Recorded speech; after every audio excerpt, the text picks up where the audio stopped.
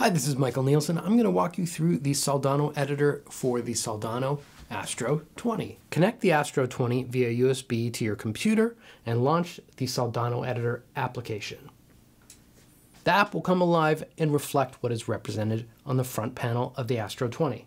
One thing to note is that this is not a plugin, so you cannot change the knobs or any of these switches from the app, but this is very helpful for customizing your Astro 20. From the editor, you could change amp channels,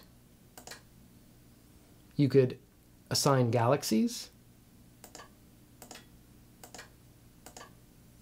and you can bypass the IRs from the direct output.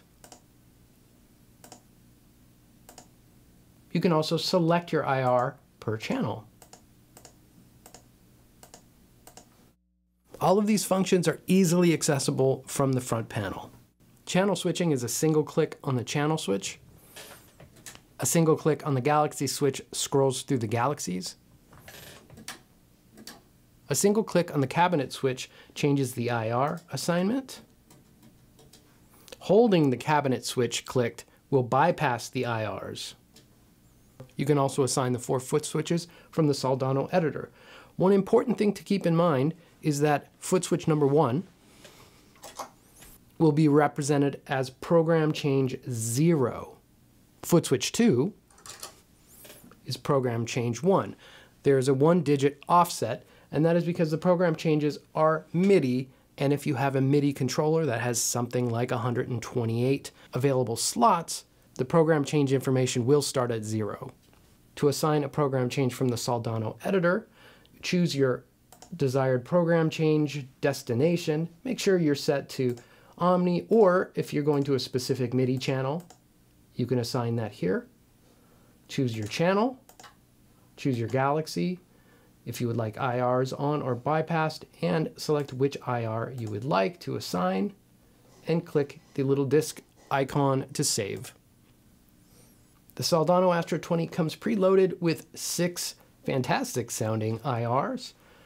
The IRs we chose complement the Astro 20 and also show a bit of the Soldano cabinet lineage. If you'd like to know a little more about a specific cabinet, you can look in the virtual cab section. There's a plus sign here that will open up cabinet descriptions. For instance, the Legend cab is a tweed cab that Mike Soldano made for a blues legend.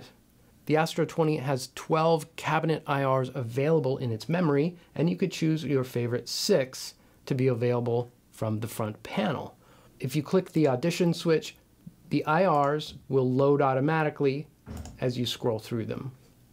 If you prefer to apply your IRs in a DAW rather than inside the Astro 20, you can click Extract All.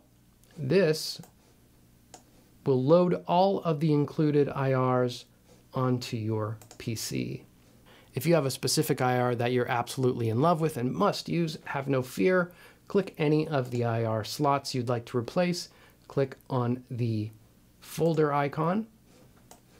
Choose the IR that you love and it will load straight in. And now that is assigned to that satellite. When we come back around, that's the newly loaded IR. It functions just like the preloaded Soldano IRs. I'm going to give you one quick pro tip here. Uh, and this is for when you are using the direct recording out. Don't forget about the IR bypass. It works best on the clean channel. So I'm not assigning a Galaxy, I have the clean channel assigned.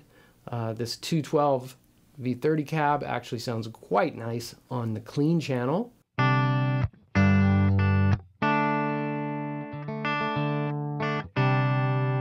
I could save that. Now if I wanted to, I could go to channel 2. I'm also going to make that green and clean. I'm going to turn off the IR for that one. The clean sound without an IR is a fantastic, super clean sound.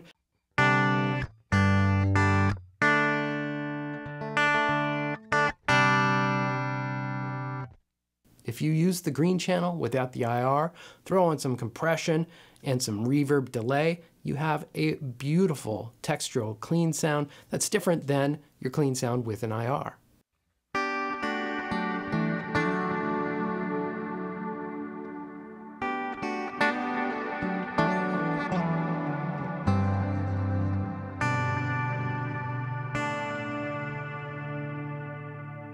The last thing I'm going to show you is that you can change your virtual Tolex from this little switch right here.